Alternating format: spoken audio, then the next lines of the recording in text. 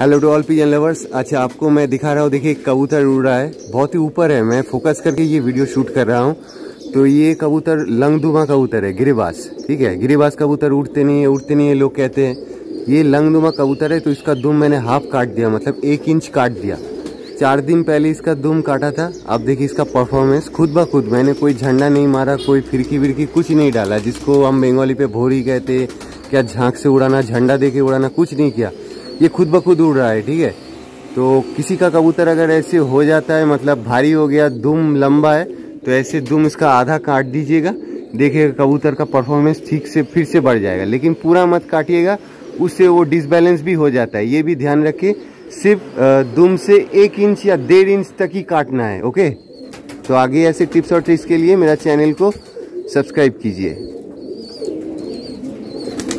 कबूतर कैसा उड़ रहा है, देखिए।